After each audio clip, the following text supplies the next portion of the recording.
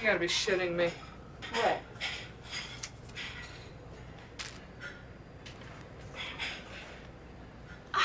If that isn't the sweetest thing.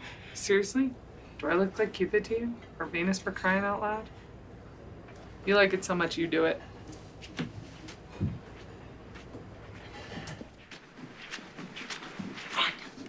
It has been three years of your tears and your anger and your sarcasm and your bitterness and your just plain unpleasantness. And this ends here and now. I am not going to let you ruin this for them. So you do it.